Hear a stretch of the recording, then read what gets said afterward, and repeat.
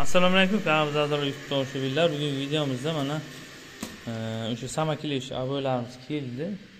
Aboy deb ataymiz buni. Sababi samakilish o'zi yopishib ketaveradi mana orqasiga o'zini plyonkasi bor shu plyonkani olib. U dahshat. Bu yopishtiriladigan joyimiz ideal toza chang bo'lmagan joyga bo'ladi. Biza mana bu tualet qismimiz judayam kichkina birga bir yigirma. Pastlari kafil bo'ldi. Endi tepa qismiga mana shunaqa samakilish aboy.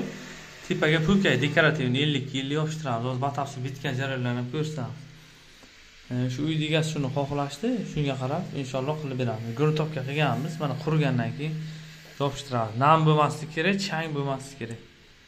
Batafsil qani? E, birinchi yopishtirish bizani o'sha jarayonlarni ko'rsatib o'tamiz. Tepaga ellik yillik pulkay bo'ladi. Uni ham ko'rsatib o'tamiz.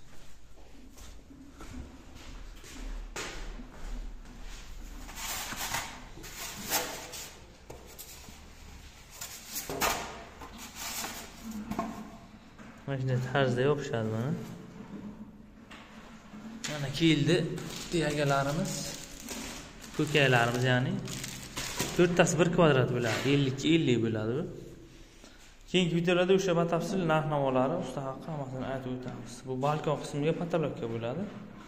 Mana samakilish oboylarimiz udobni va e, tez bitadigan variant. Ya'ni bitta ish bo'ladi hech qanday kraska ortiqcha narsalar bo'lmaydi. Tars yopishtiriladi birdan tugaydi ish. Bu jarayonlarni ham shu yopishtirish jarayonlarini ko'rsatib o'tamiz sizlar jarayonlarni ko'rsatib o'tamiz hozir o'lchash va yopishtirish jarayonlari. Nasib. Kuzatib boring. Sog' bo'lasiz keyingi videoga ko'rishguncha.